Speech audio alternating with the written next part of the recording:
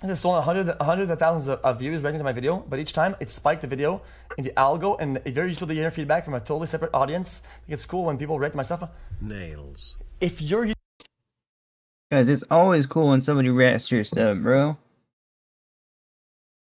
Cause like, yeah, I I've seen reaction videos where I didn't know even know it was a reaction video, and I actually had to go and watch the original video because you know, the guy just kept providing his commentary a lot, but uh, I still like you know watch halfway through the video. I don't really watch reaction content that much, YouTube channel is not about react, and but but you know I I still liked his reaction, guys. somebody reacts to your stuff, I'm not kidding. The people that watch your stuff, if they don't watch react, right?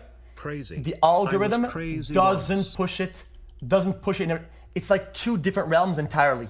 The recommended will push it in different ways, right? And there's a little bit Pretty much, if you just say you're not interested in the react video, it won't show up on your recommended, guys. of crossover that goes back to you, right? And not a lot of it that yonks from you. That was been that's been the whole argument.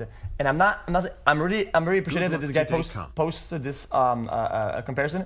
I think it makes a lot of sense. But people need to re- people need to, Yeah, this guy's in favor of it. Mr. Beast is as well.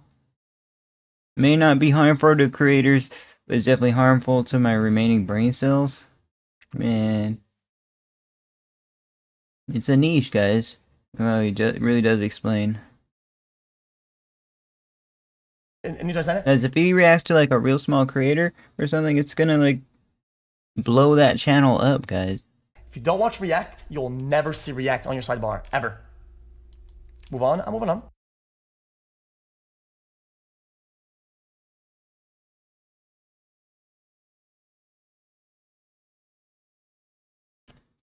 Yeah, I don't know why um a lot of content creators are like shaming or like getting angry at reacting content, bro. It's uh, you know, I think it's a it's a good niche where like all parties profit.